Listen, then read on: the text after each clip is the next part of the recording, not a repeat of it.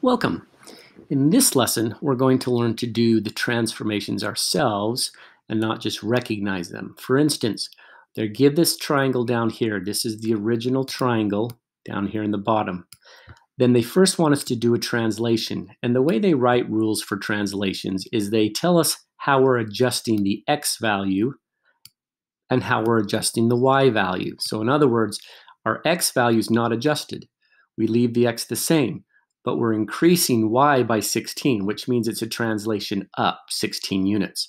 So what I do is I just take the point, negative 8, negative 6, that's this first point, and if I add 16 to negative 8, or sorry, not to negative 8, to the y value, I got to add 16 to the y value, not the x, then I get to 10. The x didn't change. So this literally was a, just a shift up 16 units. This i likewise was shifted up 16 units, which negative 12 is the y value of the original point, add 16 is 4. This point has been shifted up 16 units.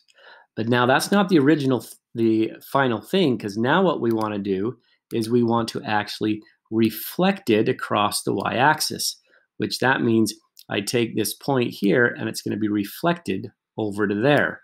And if it x value is negative 8, when I reflect it across the y-axis, the x value becomes positive. So I get 8 10. This point here gets reflected to there, and this point here gets reflected all the way over to there, which leaves us this final figure, which was moved up and then reflected over. I'm going to clear all that out. If you need to take a minute to go through that, it looks a little messy, but that's the process that you actually have to do with these just like that.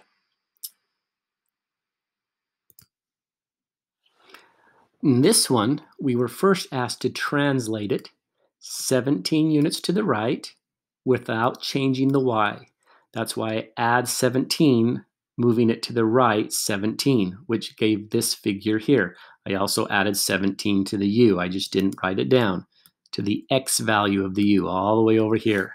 Then I was supposed to rotate it 90 degrees which I do that L rule or that rotating L. If I go out seven to the right seven and down three, if I rotate it 90 degrees counterclockwise, this horizontal line will become vertical and it will be still seven units in length. So I went out to seven, and this three unit length little short part of the L is going to come out horizontally to that point. And then I did that with the other three points. I go out 11 and down 7. So I go up 11 and right 7 to get to that point. Wait, what did I just do? That's funny that that's exact. Oh, no. No, I did that right. Out, down, gives me that point there. And then this point, which is out 3, got confused myself just a little bit. It, it can get kind of confusing because a lot of things are going on. Go out three and go down 11. So I went up three and out 11 to get that point. So that's my final thing after a rotation of 90 degrees. It takes a little bit of practice, but I guarantee that if you do it a few times, it will get easier and it's kind of fun actually to try to do all these transformations. Again, here's another one where we start with this original triangle here. We're going to rotate it 270 degrees counterclockwise. But remember, that's the same as rotating it 90 degrees clockwise, which I found it easier rather than going up, down, and right. I'm just going to drop it down this way. So if I'm out 10 and up 3, when I rotate that the 270 or the 90 the other degrees, it's can, this horizontal will become vertical. That's 10 units in length, 10 units in length.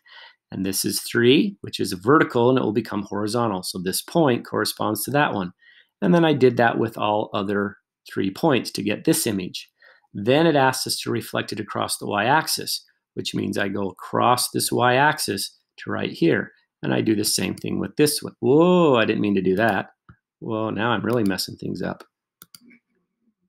There we go. So and then what I do is I'm this one's reflected over to there, and this one is reflected to there. Again, it just takes practice. I guarantee again, if you keep practicing, it will get easier. Let's see how I did. Look at that. Again, I'm going to let you guys work on it now on your own. If you have any questions, please do bring them to class.